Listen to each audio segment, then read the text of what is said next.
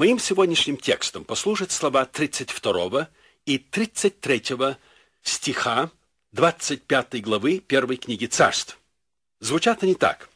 «И сказал Давид Авигее, «Благословен Господь Бог Израилев, который послал тебя ныне навстречу мне, и благословен разум твой, и благословенна ты за то, что ты теперь не допустила мне идти на пролитие крови и отомстить за себя». Этот отрывок взят из той части истории Давида, когда он и его люди скрывались от Саула в пустыне Фаран. Они были в нужде, и Давид послал десятерых из своих людей попросить у некоего Навала, очень богатого человека, провизию. Когда-то Давид и его 600 человек оказали его пастухам большую услугу, кормя их и охраняя от грабителей, которые нападали на беззащитных пастухов и забирали их стадо. Но вместо того, чтобы заплатить за добро добром, Навал грубо ответил, говоря, «Кто такой Давид? Ныне стало много рабов, бегающих от господ своих. Неужели мне взять хлеб и воду мою, и мясо, приготовленное для стригущих овец у меня, и отдать людям, о которых не знаю, откуда они?» Этот оскорбительный ответ сильно смутил Давида – и тут же он решает расправиться с этим негодным человеком. Опоясавшись мечом, Давид и 400 его отборных борцов направились к Навалу. Но вот совсем неожиданно для Давида навстречу ему вышла Авигея, жена Навала. Она падает к его ногам и умоляет его не делать ничего, о чем он позже мог сожалевать. А Авигее сказано, что женщина эта была весьма умна, и красиво лицом. А о ее муже сказано, что он был жестокий и злой нравом. И вот эта умная женщина, узнавшая о намерении Давида, пытается предотвратить его от кровопролития, прибегая к сильнейшему аргументу. «Не берись мстить сам, мщение принадлежит Богу, он поступит справедливо. Не делай того, о чем позже будешь оплакивать и сожалевать. Придет день, о котором Господь тебе говорил, и будешь вождем над Израилем. Тогда не будет это огорчением и беспокойством, что не пролил напрасно крови и сберег себя от мщения. Давид узнал Божий голос в словах этой разумной женщины, и потому отвечает ей словами нашего текста «Благословен Господь, Бог Израилев, который послал тебя ныне навстречу мне» и благословен разум твой, и благословенна ты за то, что ты теперь не допустила мне идти на пролитие крови и отомстить за себя. Я думаю, что Господь сегодня имеет нечто особое сказать нам через это событие из жизни Давида. Во-первых, оно напоминает нам еще раз, насколько неустойчив человек и насколько мы должны быть постоянно настороженны, чтобы не пасть вчерашней победы не является гарантией, что сегодня мы не падем. Христос сегодня нам говорит, бодрствуйте и молитесь, чтобы не впасть в искушение. Апостол Павел предупреждает, говоря, «Посему, кто думает, что он стоит, берегись, чтобы не упасть». Давид нелегко раздражался, мы знаем это из его характера. Он отличался спокойным характером. Он уповал на Господа, ожидал Божьего времени, искал Божьего водительства. В двух случаях, когда ему представилась возможность уничтожить своего лютого врага Саула, он проявил великодушие и побоялся коснуться Божьего помазанника. Помните, как задела его совесть, когда он отрезал край Сауловой одежды, который спал, когда Давид нашел его в пещере? И вдруг этот человек спокойного нрава готов на кровопролитие. Как раз там, где он показал себя крепким, в этот раз он теряет свое самообладание, и если бы не благодать Божия, то он совершил бы величайшее преступление. Возлюбленные, искушение приходит к нам, когда мы менее всего их ожидаем. Поэтому самый сильный из нас – не исключены от возможности пасть именно на той почве, на которой мы считаем себя сильными. Пусть этот пример еще раз напомнит нам, что в нас нет ничего хорошего, и хвалящийся пусть хвалится Богом, а не чем-либо в себе самом. Ибо в час, который мы меньше всего ожидаем, подкрадывается к нам искуситель, и горе нам тогда, если мы не бодрствуем.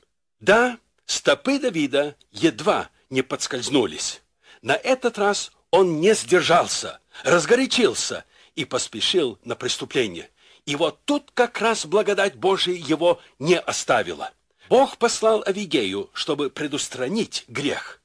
Она оказалась Божьим ангелом, который не допустил Давида согрешить, чтобы потом ему не оплакивать свой поступок.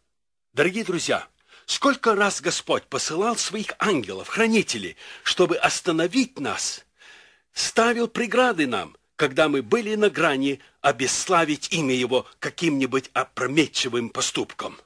Вы только подумайте, что было бы, если бы в такой критический момент Господь не предотвратил бы наши стопы? Конечно, ответ на этот вопрос вы знаете. Подумаем сегодня, дорогие друзья, о том, какая великая милость оказана нам через предотвращающую благодать Божию, то есть благодать, которая препятствует нам грешить. О, как мы должны благодарить Бога за такую милость! Да, какая радость, какое удовлетворение, какой мир переживает тот, кому прощены грехи его. Когда Христос простил расслабленного, Он обратился к нему со словами «Дерзай, чада, прощается тебе грехи твои». Иначе говоря, ободрись, радуйся, все твое прошлое прощено, оно забыто. Но если в прощении такое благословение – то подумайте, какая благодать оказана тому, который был сохранен от преступления. Не приходилось ли нам иногда думать, когда, слушая свидетельство какого-нибудь большого грешника, что, мол, мое спасение может быть уж не так актуально и действительно, как его, потому что я так глубоко в грех не падал. Но, дорогие друзья, грех есть грех. Мал ли он нам кажется или велик? Грех есть мерзость перед Богом. Если мы дали Духу Святому действительно показать нам, насколько ужасен грех, то грех, который казался нам незначительным, оказался весьма большим. И когда этот грех прощен и омыт кровью Иисуса Христа, то и наша любовь к нашему Спасителю будет соответственно велика. Поэтому человек, который был сохранен от греха, имеет двойную причину славить и благодарить своего Господа. За благословение, которое он имел в прощении грехов, так как в прощении он нуждался так или иначе, будучи грешником, и за предотвращение новых грехов. Такому была оказана двойная милость. И за такую милость Каждый из нас имеет причину благодарить и славить Господа. Иначе выходит, что, мол, давайте будем грешить, и при том, чем больше, тем лучше, чтобы больше быть прощенным. Апостол Павел говорит, долой такой мысли. Продолжать грешить, чтобы умножалась благодать Божия? Никак. Мы не должны забывать, дорогие друзья, что каждый грех оставляет свои пагубные следы. Правда, если мы исповедуем грех наш Богу и искренне в нашем покаянии, то Бог готов простить нам все наши грехи. Но, тем не менее, грех оставляет свои следы. Притом, согрешив однажды, легче согрешить во второй раз. И что так ужасно насчет греха, это то, что грех почти невозможно стереть из памяти. Да, Бог, когда прощает, то Он забывает. Но человек не способен так забывать. Память о его грехах преследует его всю жизнь. Помимо того, грех никогда не одинок. Он порождает целый ряд других грехов. Поэтому, если Бог тебя сохранил от какого-нибудь опрометчивого греха, то Он фактически остановил целый ряд других грехов. Подумайте, какие следы оставляет наши грехи на других людей – Например, дети твои услышали слова из уст твоих, которые они никогда не забудут. Да, ты покаялся, Господь простил тебе твое злоречие, но эти слова навсегда остались в памяти твоих детей. Следы остались, поэтому не удивляйся, если они сегодня сквернословят. Возлюбленные, будем помнить, что даже если грех прощен и Бог одарил своей благодатью, то никогда грешить не может быть лучше, чем не грешить. Допустим, что человек пострадал в аварии. Скорая помощь успела увезти его в больницу, там сделали нужную операцию, и со временем он выздоровел. Но гораздо ведь лучше было бы, если человек не попал бы в аварию. Да, он поправился, но последствия-то остались, и притом они останутся у него на всю жизнь. Так бывает и с ранами греха. Лучше было бы не грешить. Дорогие мои, нам не нужно грешить, чтобы узнать, что такое грех. Ведь это игра с огнем. Мы ведь не сжигаем дом, чтобы узнать, сколько он выдержит огня, пока не сгорит. Вы скажете, но ведь это абсурд. Да, действительно, но еще безумнее играть с огнем греха. О, дорогие мои, будем славить и благодарить Господа за чудную Его охрану от греха, за Его предотвращающую благодать. Слава и благодарение Ему.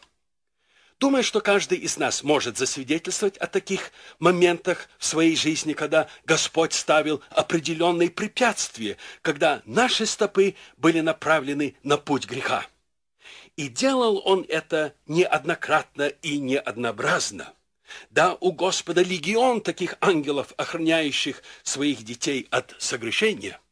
Подумайте, дорогие мои, о некоторых таких авигеев – которые пошли нам навстречу в такой роковой момент, когда мы вот-вот и согрешили бы.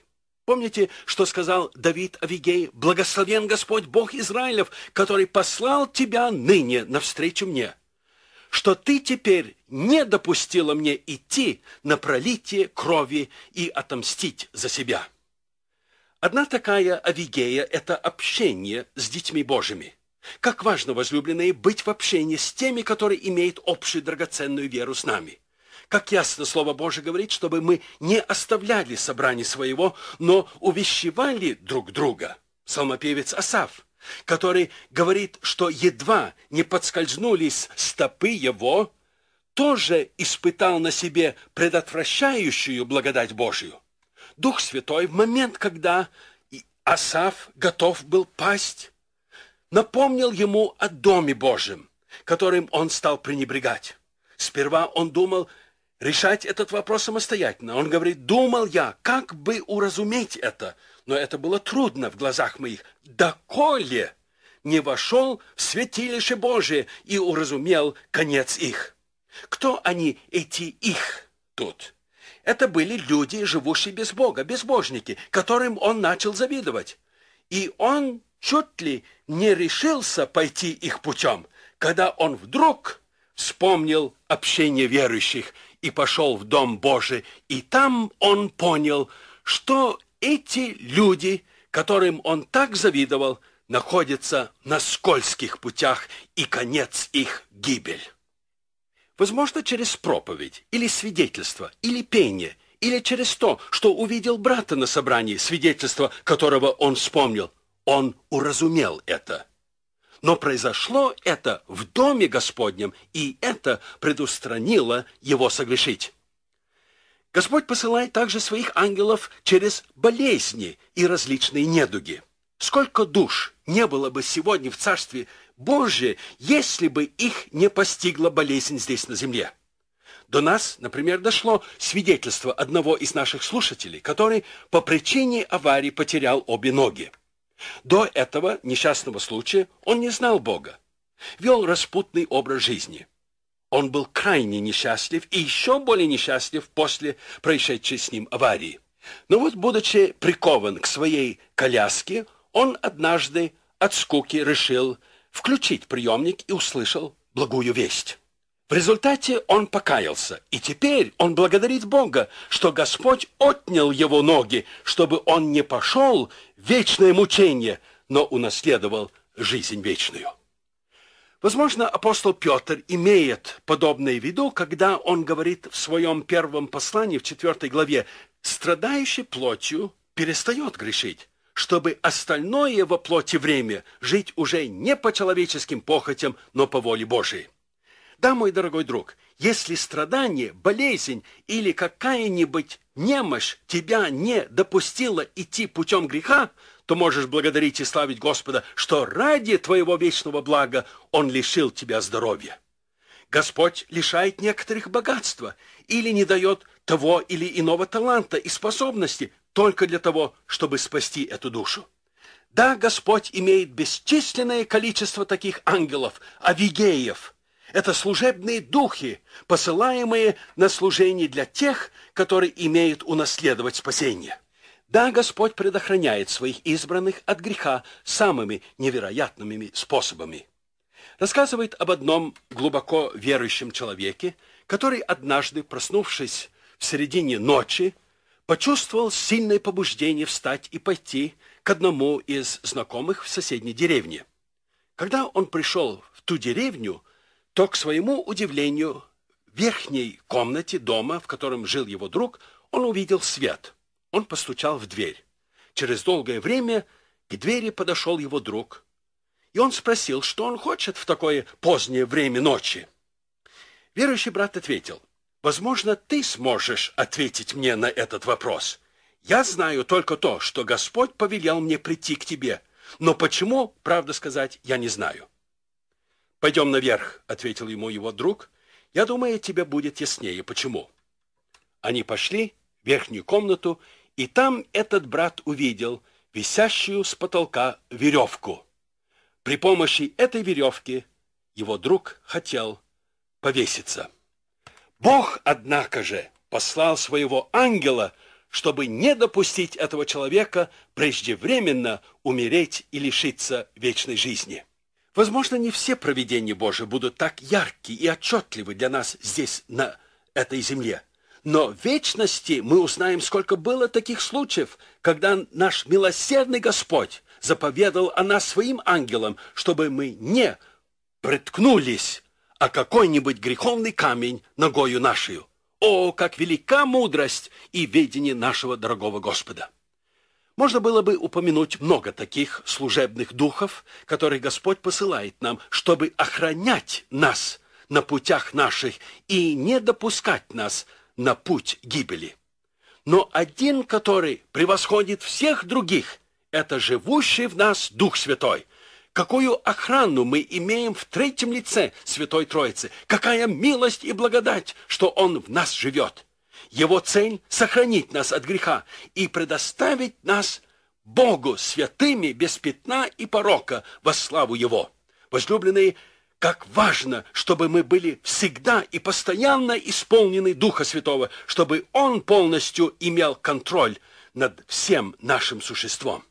О, дорогие мои, он один может сохранить нас от падения и представить непорочными Богу. Ему слава, нашему премудрому Богу, любящему нас вечной любовью во все роды от века до века.